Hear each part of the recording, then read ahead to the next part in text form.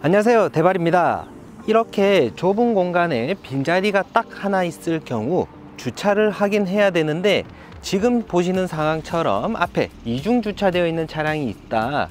그럼 지난번 영상과 달리 이중 주차되어 있는 공간에서 쉽게 차 빼는 요령이 아닌 이중 주차되어 있는 공간에 주차하는 방법에 대해 설명드려 볼 텐데 이렇게 45도를 만들어 주차칸에 주차를 해야 되는데 불구하고 45도를 각도를 만들자니 이중 주차되어 있는 차량의 뒷공무니에 받칠까 걱정되시는 분들 계실 거예요.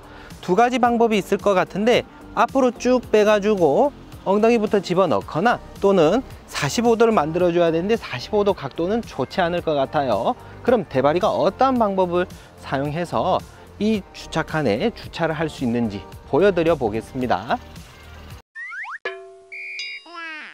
대바리는 이곳 빈자리에 주차를 해보기 위해서 주차칸 끝선과 운전자의 어깨를 맞춘 다음 주차칸에 주차를 쉽게 하기 위해서 45도 만들어서 주차를 한번 해보도록 하겠습니다.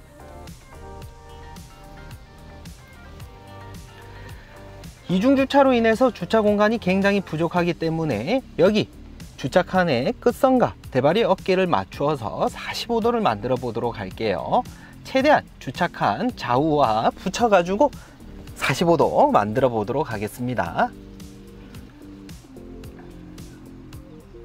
한 요정도 되면 45도 되는 것 같죠? 45도 만들었다.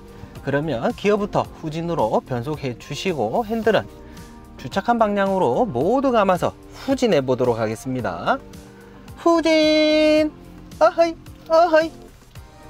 어허이 참 후진하려다 보니까 이렇게 앞이 받칠 것 같죠. 그러면 여기 이중 주차되어 있는 공간에 주차를 할 수 없다는 겁니다. 그럼 어떤 방법으로 주차를 할 수 있냐?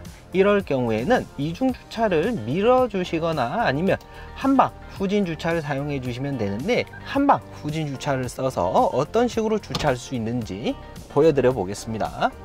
대바리는 이곳 빈자리에 주차를 하기 위해서 다른 방법 한방 후진 주차를 사용해 보도록 하겠습니다. 최대한 주차칸과 바짝 붙이도록 할게요. 왜냐? 세워져 있는 이중 주차로 인해 가지고 예, 엉덩이를 주차칸에 들어가는가 동시에 앞머리가 이중 주차의 꽁무니와 박을 수도 있습니다. 주차칸과 우리 차량과의 간격은 0.5m 가량 띄워 주신 다음 주차칸에 옆역 칸에 3분의 1 지점에 운전자의 어깨가 오거나 주차칸 끝선과 사이드미러가 일치하면 기어는 후진으로 변속해 주시고 핸들은 주착한 방향으로 모두 감아 후진! 한 번만 하겠습니다. 후진! 두 번 했네요.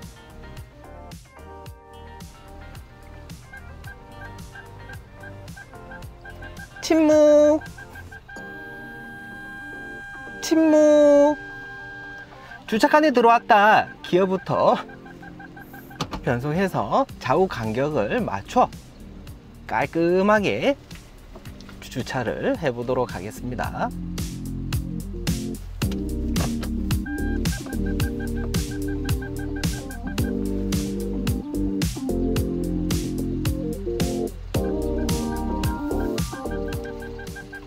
주차 완성! 세워져 있는 이중주차와 간섭이 일어날 수 있기 때문에 우리 차량은 최대한 주차칸과 바짝 붙여주신 다음 주차칸의 옆역칸 가운데 넘어 3분의 1 지점의 운전자의 어깨 맞춘 다음 핸들은 주차칸 방향으로 모두 감아 후진하면 이런 식으로 주차칸에 쏙 들어올 수 있습니다. 이중 주차되어 있는 공간에서도 45도 각도를 만들어 주차할 수 없다면 지금처럼 대바리가 사용한 방법을 사용해 보시길 바랍니다. 내가 세워져 있는 차량이 부담스럽다면 밀어 주셔도 되는데 밀기보다는 차 빼달라고 하거나 아니면 귀찮음이 크신 분들은 직접 도전해 보셔도 좋을 것 같습니다. 대바리의 영상이 도움이 되었다면 그냥 보지 말고 구독, 좋아요, 알림 설정해 주시고요. 아따 오늘 또 수고했네. 한마디 남겨놔 주시면 감사하겠습니다